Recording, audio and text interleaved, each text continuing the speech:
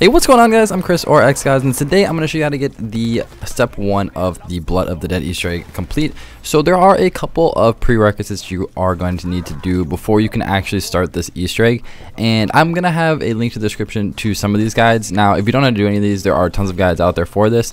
The first thing you're going to need to do before you can start this Easter egg is build the shield. You are also going to need to pick up the Hell's Retriever. You do not have to upgrade it and then you also are going to need to get the spoon.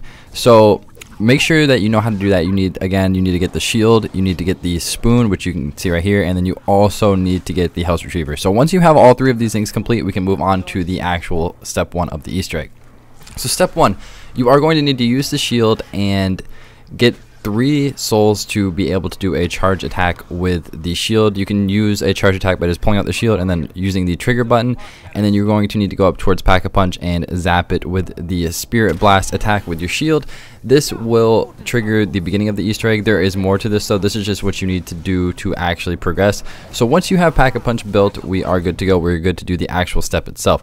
So with the spoon, you are going to head on over towards the warden's house, and then up on the staircase, if you knife the wallpaper, it will actually like leave marks on the wall. And this is the start of the step itself. You need to have the spoon. You don't have to get the golden spork. The spoon works fine. You just knife that part of the wall. And then from here, you actually need to get to at least round 18.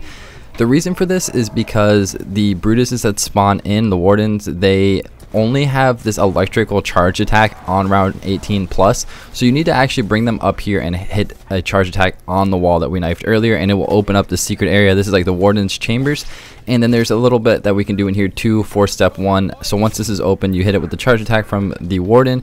There is a little red cube thing right here spear. I don't know what that thing is but you can hold square to pick that thing up and then you can interact with the electric chair and you will see like this nice little animation. The electric chair starts floating up and it reveals a little bit of the story so this is how you complete step one of the Blood of the Dead Easter egg. I'm going to have guides for this entire Easter egg coming out towards the channel as soon as possible. There are going to be a bunch of them today. So subscribe if you're new to the channel. Thank you guys so much for watching this video. And until next time, I'll see you guys later with some more Black Ops 4 Zombies.